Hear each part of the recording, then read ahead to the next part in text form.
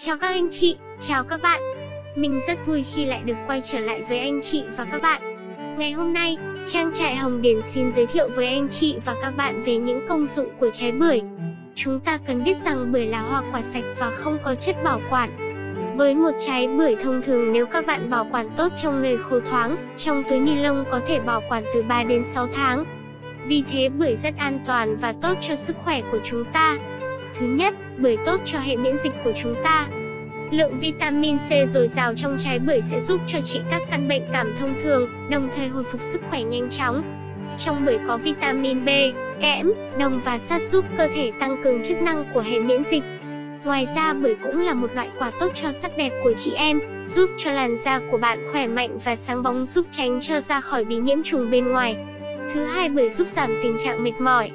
Nước ép bưởi sẽ giúp thúc đẩy mức năng lượng trong cơ thể tăng vọt nhanh chóng, giúp cơ thể khỏe lại nhanh chóng khi cơ thể bị mệt mỏi.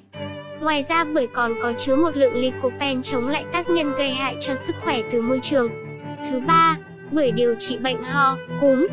Vì khả năng làm giảm tính axit trong hệ thống khá tốt, bưởi được ví như là phương thuốc hữu hiệu giúp điều trị bệnh cúm, ho, Ngoài ra nhờ các đặc tính gây chua trong bưởi có tên nazinzin còn giúp cơ thể tăng cường hệ thống và đẩy mạnh quá trình tiêu hóa.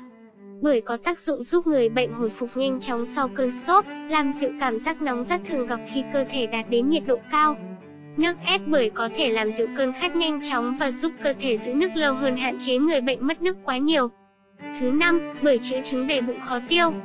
Sự tồn tại của hàm lượng chất xơ và bột thực vật chứa trong bưởi sẽ giúp làm tăng khả năng tích tụ trong đường ruột và điều chỉnh chu kỳ bài tiết của bạn.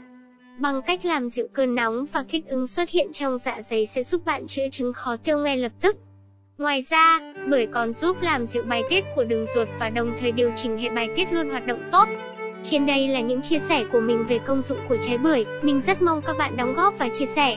Nếu các bạn thấy video này hay, hãy like cho video và đăng ký cho kênh và đừng ngần ngại chia sẻ nó tới người thân và bạn bè. Nếu các bạn có nhu cầu liên hệ đặt bưởi, hãy liên hệ số điện thoại của mình 0988150485 hoặc 0964999253. Mình xin cam kết là bưởi sạch, an toàn và chất lượng nha.